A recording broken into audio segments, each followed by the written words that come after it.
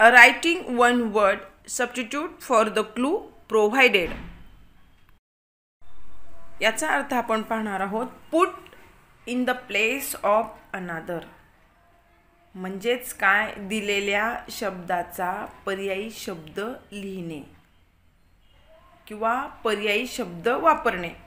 म्हणजे use substitute word विद्यार्थी मित्रांनो स्कॉलरशिप परीक्षेमध्ये यावर कसे प्रश्न विचारले जातात ते आपण ह्या ठिकाणी पाहणार आहोत.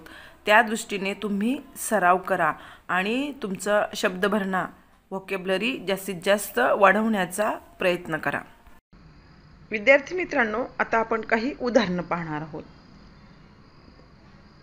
उदाहरण आहे बघा. Radhika attended the college did lots of study visited the exhibition and played Coco match also. For her it was a dash dash day.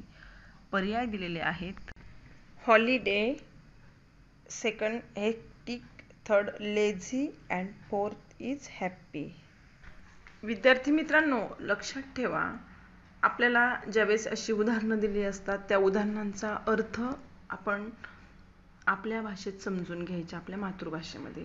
तर बघा ह्या ठिकाणी वाक्य आहे राधिका अटेंडेड दी कॉलेज राधिकाने कॉलेज पण अटेंड केलं.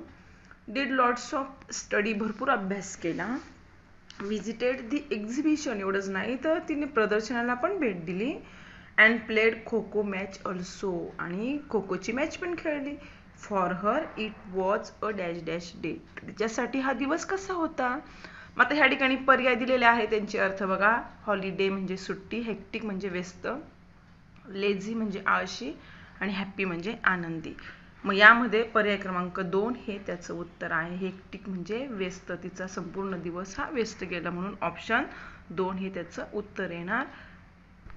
आपण पुढचं उदाहरण पाहणार आहोत. Choose the correct word for the given alternative दिलेल्या पर्यायासाठी अचूक शब्द ओळखायचा आहे. आता ह्या ठिकाणी बघा a book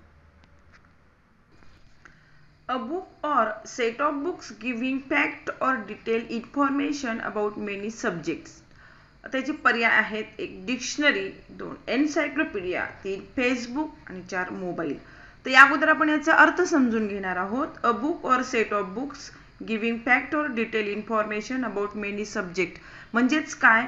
तर एक किंवा अनेक पुस्तकांचा संच जो इतर किंवा अनेक विषयांबद्दल विस्तृत अशी माहिती सांगतो. आता डिक्शनरीचा अर्थ काय आहे बघा? डिक्शनरी म्हणजे काय? तर शब्दकोश. आणि दुसरं एनसायक्लोपीडियाचा अर्थ विविध विषयांची माहिती देणारा ग्रंथ किंवा ग्रंथखंड. आणि तिसरं फेसबुक सामाजिक नेटवर्किंग वेबसाईट. आणि चौथा आहे मोबाईल म्हणजे भ्रमणध्वनी. मग याचं अचूक उत्तर आहे एनसायक्लोपीडिया म्हणजेच a book or set of books giving fact or detail information म्हणजे पर्याय क्रमांक दोन हे त्याचं अचूक उत्तर ह्या ठिकाणी आहे.